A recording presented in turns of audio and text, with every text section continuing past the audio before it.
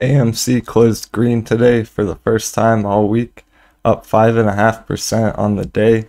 Is this hinting at a reversal? Let's see what the charts are telling us. Now, before we begin, here is a picture from the German markets yesterday. And when they opened, it was up a quick 6.28%, guys. So this is a good sign that um, the U.S. markets may also have shown some green early on in the day, and that's exactly what we saw. So heading into tomorrow for Thursday, maybe if you're awake before the markets are open in the U.S. here, check out the German markets and see what's going on overseas.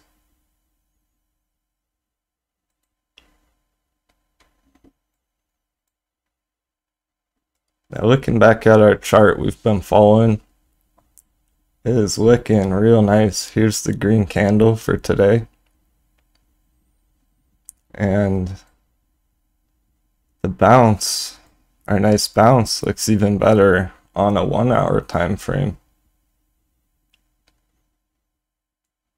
Can see that I haven't moved these lines whatsoever and the price action is tracking these lines very nicely here.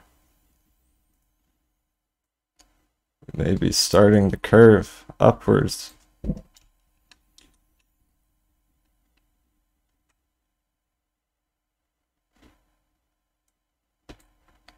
The price has perfectly found support at our long-term trend line.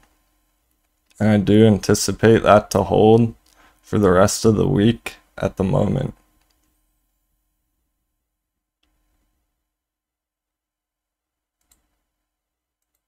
Some more confluence with that.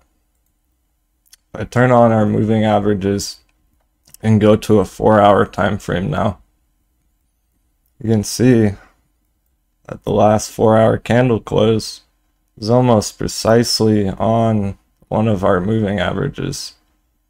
So I do expect that to also help with the buying pressure stepping in over the next couple of days.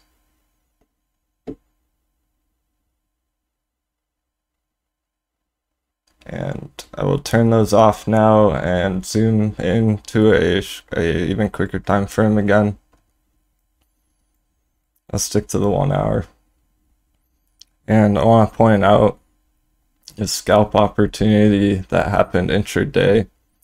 I was considering uh, making a play on it, guys, but because I just entered my call positions earlier that morning, down around this area about $5.40.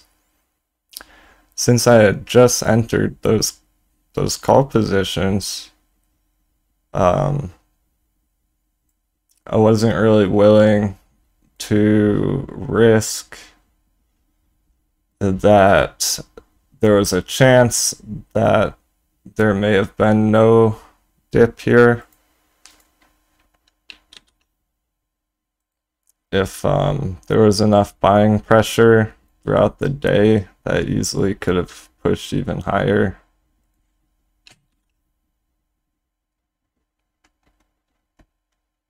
But for our day traders,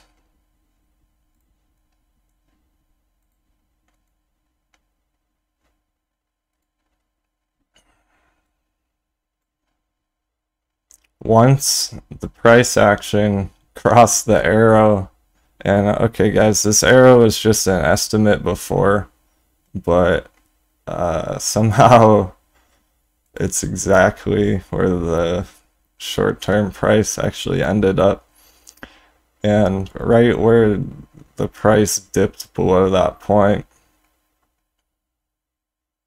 we had a 12% move to the downside.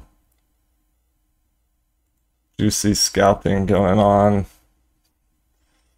in these markets. The markets are hot. There's just so much information. I'm trying to put as much into each video as i can for you guys so make sure to tune in tomorrow for more AMC updates. And remember, this channel is always free, never monetized. All I ask is that you hit that thumbs up and share the video so we can help out our friends. Thank you. Now, assuming this move to the upside does continue over the next couple of days, where is our target?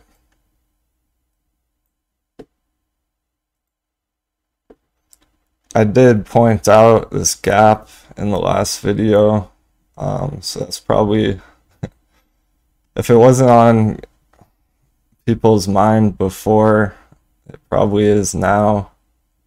So this is a good target still. And we're talking above $11. I'll do a measured move and show what kind of profit that may be. And over a hundred percent, what more can you ask for? So around here, under six dollars, where I entered my call position.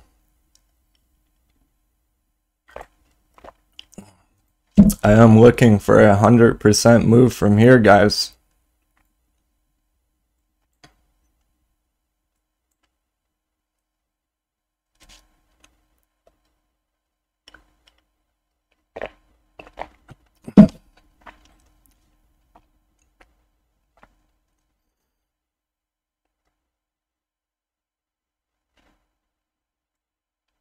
That's our short-term target.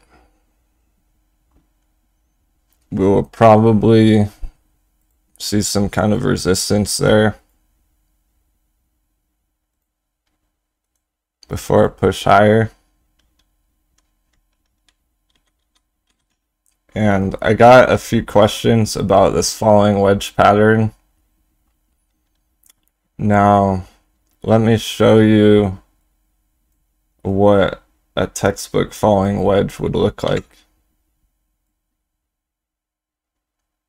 And if I put them side by side here, let me know what you think in the comments, guys. Do you agree? Is this a falling wedge in your opinion? We have a big pull up And then one, two, three, four, five, breakout. Okay. Big move up. I'm going to draw it out. Big move up. One, two, three, four, five, breakout. Let me know what you think in the comments.